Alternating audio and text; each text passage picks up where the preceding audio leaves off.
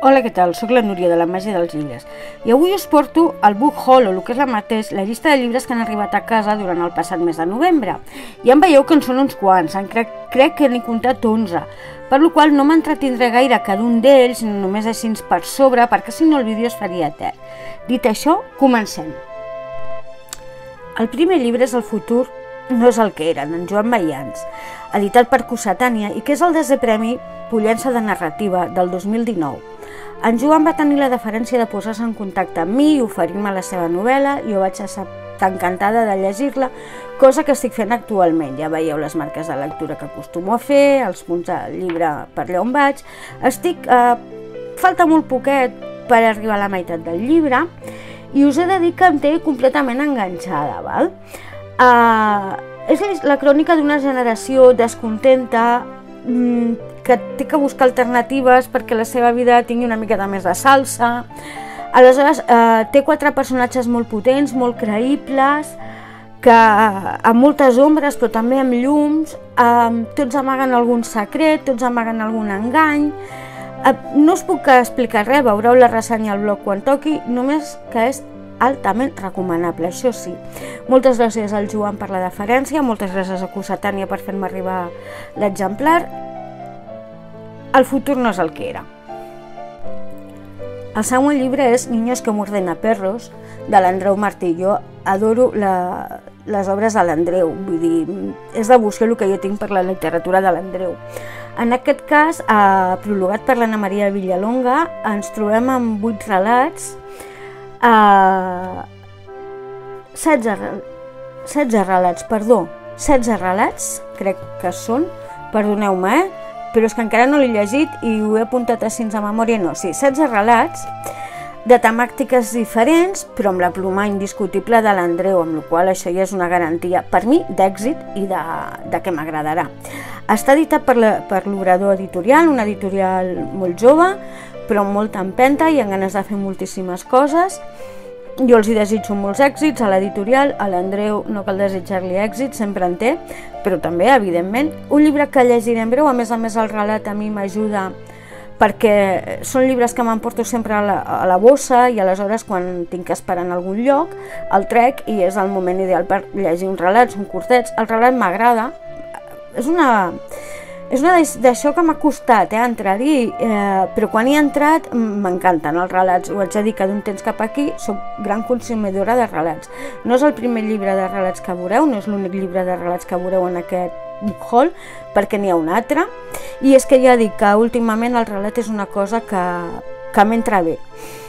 Uh, Niños que muerden a perros, el títol ja és prou potent, la, la portada és esgarrifosa, o sigui, m'encanten els gossos, però aquest gos em fa pànic i moltes ganes d'endinsar-me a la prosa de l'Andreu. La darrera novel·la de Sebastià Benazà, El rei de la Cerdanya. Els que heu passat pel blog, els que ens seguiu, els que teniu la paciència d'aguantar-me, sabeu que el Sebastià Benazà és un dels meus autors de capçalera últimament, potser és l'autor, no, sense el potser, que més he ressenyat en el blog. Aquest és el seu darrer llibre, que ens apropa la figura de Martí Cot Saleta, el Martí de Pi, també conegut com el Rambo de la Cerdanya, i li deien així pels seus continus robatoris, les seves espectaculars fugides de la, de la policia, de les presons on havia estat, de la policia d'una banda i altra de, de la frontera, perquè s'havia escapat de la policia espanyola, de la catalana, de l'andorrana, de la francesa i de l'italiana. La fuga d'Itàlia no té desperdici, és un dels millors capítols que he llegit, i, bueno, Uh, tot i que està basat en, en la vida d'aquest personatge real, el cert és que les escenes surten de la imaginació del Sebastià, és una novel·la, és ficció, basada en un personatge real, sí, però ficcionat. Uh, M'ha encantat la segona persona que ell treballa també del narrador, m'ha encantat el llibre, és un llibre curt, no, no és el millor que he llegit del Sebastià, no, però és un llibre que, precisament perquè està basat en un personatge real i per la interpel·lació que l'autor fa directament al personatge, eh, m'ha agradat moltíssim. M'ha agradat moltíssim com ha tractat el tema i, i aquest narrador en segona persona que ell treballa sempre també. El rei de la Cerdanya. A través de la meva subscripció a Raig Verd, mmm, vaig rebre La costa més llunyana, que és la tercera entrega d'un mag de Terramar, de les aventures de Terramar, de la Úrsula K. Leguin. Mm, no he llegit encara el segon, sí, el primer, el mag de Terramar, per la qual aquest tercer encara tardarà una mica. Uh, jo sempre he dit que a mi la fantasia és, és un gènere que em costa, aleshores me l'haig d'aprendre en calma, i ara en aquests moments l'únic que no tinc a la meva vida és calma. Sí que us ensenyo perquè, com sempre, Ratsberg fa un treball preciós. El punt de llibre que, com sempre, va acompanyar el llibre a modo de regal per la subscripció. Altre cop, eh, el muntatge de portada i contracobertes, que és espectacular. Jo no em cansaré de dir el bé que treballa Ratsberg no, no me'n cansaré, veieu? Veieu el joc? Us l'acosto, val? Tanquem i fem la preciosa portada, igual que els altres tres. Els colors són preciosos, els dos punts de llibre, perquè sempre són dos punts de llibres els que l'acompanyen. També hi ha uns postes, però que no, no els tinc aquí per si no us els ensenyo, però és cert que la subscripció de Raig sempre té petits detalls molt macos que acompanyen els seus llibres. Uh, m'està agradant molt, o sigui, em va agradar molt un mag de Terramar, crec que m'agradarà molt tota la col·lecció, tinc moltes ganes de llegir els sis volums i anem pel tercer, La costa més llunyana. També a través de la subscripció en l'editorial, en aquest cas Llibres del Delicte, em va arribar l'Esguard de la Bèstia del King Gómez, que és el primer premi Vilassar de Noir, que es va fallar l'any passat durant, la, durant el festival. No, no us puc dir res, no l'he llegit, però només que només sàpiga que és el premi d'aquest festival on el jurat era gent amb la que a la que jo admiro moltíssim, com és la Margarida Ditzeta, l'Ampar Fernández i el Toni Gil, que ells tres triessin el King Gómez i l'Esguard de la Bèstia Uh, a mi em dóna peu a pensar que el llibre m'agradarà, que és bo. No ho dubto, Llibres del delicte també és una aposta bastant segura quasi sempre. Lògicament, com sempre, hi ha llibres que agraden més o que agraden menys, però no acostuma a defraudar gaire. Uh, L'esguard de la bèstia um, està pendent de lectura perquè encara en tinc dos més de la mateixa col·lecció davant. Uh, tinc moltes lectures pendents i aquestes hauran d'esperar una miqueta. Germanes, de Lima Monsó i editat per Univers. Aquest llibre em va enamorar quan el vaig veure a la portada, tracta del Nadal, de la família, però a més a més em va encantar les il·lustracions que té. Vale? És un llibre il·lustrat, molt curtet, no l'he llegit, però aquest sí que el llegiré molt aviat perquè en tinc moltes ganes.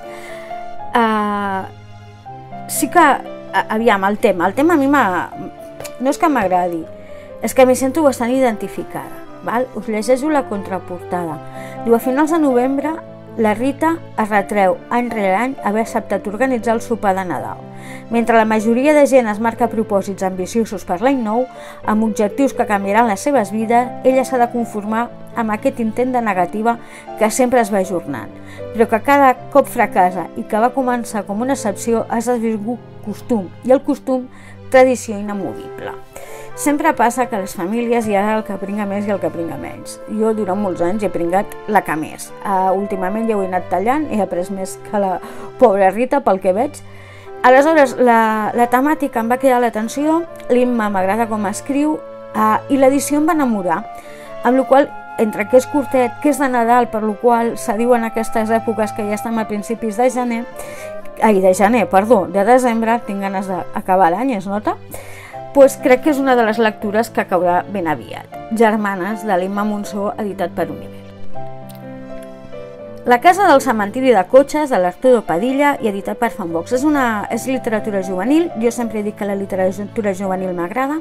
Aquest llibre el vaig veure amb una compte d'Instagram que una Instagramer el, el recomanava, em va quedar l'atenció, la portada em va encantar, és un llibre de misteri, de por, per un públic juvenil, que ja dic, m'agrada la literatura juvenil, m'agrada saber que és com en, en aquestes edats que llegeixen, i no vaig dubtar amb, bueno, amb agafar-lo. És el segon juvenil que he comprat en poc temps, al book haul del mes passat també n'hi havia un d'aquesta mateixa editorial, Uh, tinc ganes de llegir-los tots dos, a més són curtets, mm, estic amb lectures molt denses, amb la qual crec que per esvair-me una mica no tardaran tampoc en caure, perquè després de lectures denses necessito eh, alleugerir i el, aquest tipus de llibres són els ideals.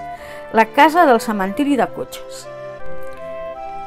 Sol de sang, del John Esbo, eh, ve després de Sant Calaneu, que és un llibre que jo vaig devorar en una tarda, s'allunya completament de lo que en Esbo ens té acostumat, Sol a la Sant Calaneu, Uh, és un llibre curt, més semblant al, a la literatura negra americana que no pas a la nòrdica que ell fa, molt allunyat del seu personatge de sempre, el Harry Hall.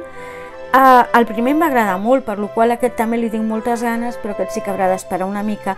Tot i que ja dic, a l'altre el vaig devorar, són llibres curtets, no són els llibres totxos que ens té acostumat Nesbo, té 200 i poques planes, li tinc ganes, eh, sincerament, perquè el primer em va agradar molt i tinc ganes de veure perquè el personatge crec que és el mateix, a veure com evoluciona, tot i que crec que és una preqüela. Crec, eh, perquè no l'he llegit i sé molt poqueta cosa d'ell, només que el vaig veure a la llibreria i vaig dir, meu, Sol de sang d'Agnès. L'origen del pecat de la Marta Lós, editat per Pagès, a la col·lecció La Morraco, la col·lecció negra de Pagès, Um, no us puc dir res, no l'he llegit, uh, fa molt de temps que li vaig darrere, esperava que m'arribés, no arribava, al final vaig optar per comprar-lo, les coses són així. Em sap greu per la Marta perquè m'agrada molt com escriu, li tinc molt apreci i em sap molt greu haver-me retardat tant a la lectura del seu darrer llibre. Tinc ganes d'agafar-lo, passa que ja veieu que és un llibre dens, té 300 i pico de pàgines i ara necessito perquè estic, ja ho he dit abans, amb lectures molt denses, ara el que necessito és relaxar una mica. Uh, suposo que després de festes caurà perquè no, no, no, no, no puc tardar perquè li tinc moltíssimes ganes de tornar a llegir a la Marta, l'origen del pecat, Marta Lós. Aquest, Els dies oblidats del Pep Toni Bausà, editat per Documenta Balear, és un llibre que jo tenia moltes ganes, ja fa temps que sé que s'està gestant, tenia que haver sortit amb una altra editorial, però l'editorial va plegar, amb la qual el Pep es va tenir que buscar una altra manera per, perquè el llibre sortís. Al final en Documenta Balear, de la qual jo ja tinc, i us l'ensenyo aquí perquè hi és a la contraportada i em va molt bé, El destí il·luminat, que és el primer que vaig llegir del Pep i em va encantar. Uh, són relats també, és el que us deia, és el segon llibre de relats que ha entrat a casa aquest mes, però a aquest li tinc especial carinyo, a més el Pep va tenir el gran detall d'anomenar-me en els agraïments, cosa que jo li agraeixo moltíssim, em fa molta il·lusió. M'agrada molt com escriu el Pep, em va agradar molt el destí il·luminat, i tinc moltes, moltes ganes de llegir-los. Com deia abans amb els de l'Andreu, són llibres que jo colo de seguida que puc perquè me'ls emporto i aleshores els relats es llegeixen ràpid. No, no és que es llegeixin ràpid, és que són curts i et dona temps mentre esperes anar al metge, a la perruqueria, a... és igual. Mentre espero les amigues al matí per fer el cafè, és així. Jo sempre vaig amb el llibre a sobre i a qualsevol moment i racó és bo per, per llegir un relat. Els dies oblidats del Pep Toni Bausà. La forastera de l'Olga Merino jo l'havia vist moltes vegades, l'havia recomanat a molts llocs, però no m'acabava de cridar l'atenció, fins que una bona amiga de, a través del Facebook va dir que era molt recomanable, li vaig preguntar, em va dir que sens dubte, i bueno, aquí el tinc, ¿vale? Diu, un relato emocionante sobre la libertad y la capacidad de resistencia. Uh, bueno, crec que el tema pot ser dur, pot ser dur, però crec que pot que em pot agradar. Tinc ganes de llegir-lo? Sí, moltes, però ja veieu la pila de llibres que tinc pendents i tardarà una miqueta. Però eh, ja dic, no, no, no us puc dir gran cosa perquè és que l'he vist recomanar moltes vegades, però fins que la Loreto no el va recomanar no, no vaig fer gaire cas. ¿vale? Mm, Olga Merino, la forastera, no havia sentit parlar mai de l'autora. Ella em va dir que tampoc, però que era una llàstima i que no sabia com se l'havia perdut. Mm, em fio molt del seu criteri, coincidim molt. Aquí està, la forastera. I per últim, la meravella del, del mes, El nombre de la rosa i apostilles, de l'Humberto Eco. Em vaig apuntar a un club de lectura on s'havia de llegir, on hem de llegir El nombre de la rosa, jo tenia una edició, tinc una edició molt velleta, a la que li tinc molt carinyo, que em vaig llegir de joveneta quan va sortir, i que estava molt atontinada. Vaig mirar a veure què s'havia fet de nou, si s'havia reeditat, perquè, bueno, jo l'havia llegit, havia vist la pel·lícula i mai més me n'havia preocupat. i quan em vaig posar a buscar vaig trobar aquesta meravella, editada també per Lumen, que és la mateixa editorial que, que jo tinc el meu, el meu altre llibre. Després us deixaré una foto per aquí perquè el veieu i, i veureu que, que clar, és una edició que no té res a veure. Aquest és meravellós, la portada hi és meravellosa, uh, les pàgines de presentació, uh, tot, vale? va ser amor a primera pàgina, perquè anava a dir primera vista, però bueno, sí, a primera vista, eh? de fet, sí, mireu, mireu, cuidado que m'ho carrego tot i no val la pena, vale? els detalls, eh...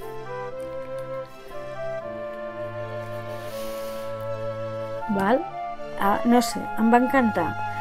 Uh, estic d'acord que aquest any estic comprant llibres que m'entren pels ulls, edicions que m'agraden, però és que no, no me'n puc estar. Quan veig aquestes meravelles, no me'n puc estar. A més a més, hi ha les apostilles, el nom de la Rosa, amb la qual encara completes més la, la lectura. És un llibre que a mi em va apassionar quan el vaig llegir. Mireu. Apostilles, el nombre de la Rosa. Vale? Vale no em digueu que no és una passada d'edició.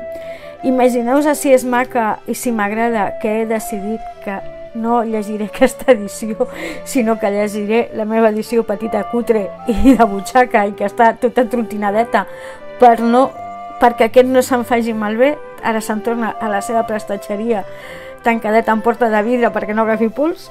Uh, sí, sí, sóc una mica friqui dels llibres, no s'hi pot fer més. El nombre de la rosa d'Umberto Eco recomanable no el següent, el llibre, la pel·lícula, tot. Guillermo de Baskerville, quin personatge, per favor, quin personatge. Llegiu-lo. I bé, amb el nombre de la Rosa, de l'Humberto Eco, arribem al final. Moltes gràcies per haver arribat fins aquí. Uh, només tinc llegit El rei de la Cerdanya, trobareu la ressenya en el blog. Els que vagi llegint, lògicament, les ressenyes pujaran al blog. Pròximament, no tardarà gaire, properament pujarà el del Joan Mayans, el futur no és el que era, i la resta, doncs, a poquet a poquet, eh, els aneu trobant allà que els vulgui que les vulgui llegir. Ara al final us deixaré els enllaços al blog, a les meves redes socials. Repeteixo, moltíssimes gràcies per haver arribat fins aquí i fins la propera.